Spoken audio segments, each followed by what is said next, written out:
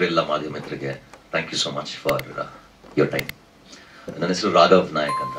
So ನಮ್ಮ S Mahender sir ಹೇಳ್ದಾಗೆ ನಾನು ಅಸಿಸ್ಟೆಂಟ್ ಡೈರೆಕ್ಟರ್ ಕೆಲಸ ಮಾಡ್ತಾ ಇದ್ದೆ ಅವ್ರು ಕರೆದಾಗ್ಲೂ ಕೂಡ ನಾನು ಮೋಸ್ಟ್ಲಿ ನನ್ನ ಅಸಿಸ್ಟೆಂಟ್ ಡೈರೆಕ್ಷನ್ ಕರಿತಾ ಇದ್ದಾರೆ ಅಂತ ಅನ್ಕೊಂಡೆ. ಬಟ್ ಫಸ್ಟ್ ಟೈಮ್ ಸೊ ಒಂದು ಮಗು, ಒಬ್ಬ ಆಕ್ಟರ್ ಆಗದ ಎಕ್ಸ್ಪೀರಿಯನ್ಸ್ ನಾನು ಕಲ್ತಿತ್ತು ಇಲ್ಲಿಂದ.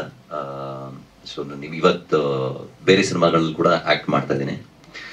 ಸೊ ಅದಕ್ಕೆ ಏಕೈಕ ಕಾರಣ ಎಸ್ ಮಹೇಂದರ್ ಸರ್ ಮತ್ತೆ ಸಂಗೀತ ಶೃಂಗೇರಿ ಅವರು ಅವರು ರೆಫರ್ ಮಾಡಿ ಓಕೆ ಇವರಲ್ಲೊಬ್ರು ಆಕ್ಟ್ ಇದಾರೆ ಅಂತ ಐಡೆಂಟಿಫೈ ಮಾಡಿ ರೆಫರ್ ಮಾಡಿ.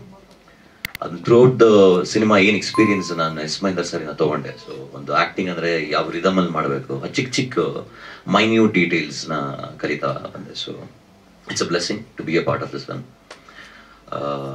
ಮತ್ತೆ it's an honour to be a part of film ಇಲ್ಲಿ ಎಸ್ ಮಹೇಂದರ್ ಸರ್ ಮತ್ತೆ ಹಂಸಲೇಖ ಅಂತ ಒಂದು ಲೆಜೆಂಡ್ಸ್ ಜೊತೆ ವರ್ಕ್ ಮಾಡೋ ಅಂತ ಸೌಭಾಗ್ಯ ಸಿಕ್ತು ನನ್ನ ಮೊದಲನೇ ಸಿನಿಮಾದಲ್ಲಿ. ಸೊ ವೆರಿ ಹ್ಯಾಪಿ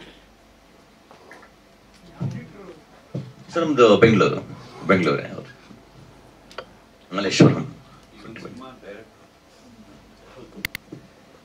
ಈಗ ಓ ಟು ಅಂತ ಫಿಲಮ್ ಮಾಡ್ತಾ ಇದ್ದೀನಿ. ಸೊ ನಾನು ಓದಿದ್ದೆಲ್ಲ ಡೈರೆಕ್ಷನ್ ನಾನು ಸತತವಾಗಿ ಏಳು ವರ್ಷ ಓದಿದ್ದು direction cinematography editing colour grading ಎಲ್ಲ ಫಂಡಮೆಂಟಲ್ಸ್ ಕಲಿತಾ ಬರ್ತಾ ಇದೆ. ಆಕ್ಟಿಂಗ್ ಕೂಡ ಕಲ್ತಿದ್ದು ಬಟ್ ಆಕ್ಟರ್ಸ್ಗೆ ಹೇಗೆ ಹೇಳ್ಕೊಡ್ಬೇಕು ಅಂತ ಬೇರೆ ಬೇರೆ ಆಕ್ಟಿಂಗ್ ಸ್ಕೂಲ್ಸ್ ಅಲ್ಲಿ ಹೋಗಿ ಕಲಿತಾ ಇದೆ. ಬಟ್ ಆಕ್ಟಿಂಗ್ ಆಕ್ಟರ್ ಆಗ್ಬೇಕು ಅಂತ ಮಾತ್ರ ಅನ್ಕೊಂಡಿರ್ಲಿಲ್ಲ. ಸೊ ಆಕ್ಸಿಡೆಂಟ್ ಆಗಿರುವಂತ ಆಕ್ಟರ್ ಥ್ಯಾಂಕ್ ಯು